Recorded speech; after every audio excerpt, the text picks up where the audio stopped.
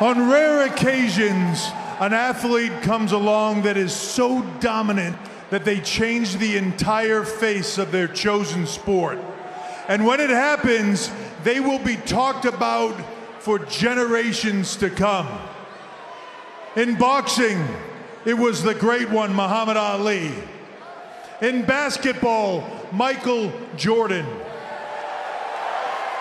In the WWE, right now, we have the privilege of witnessing that greatness live.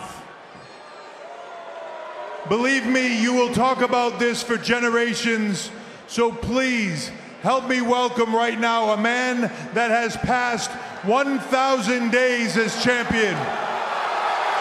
Please help me welcome a man that you will tell your children and your grandchildren about.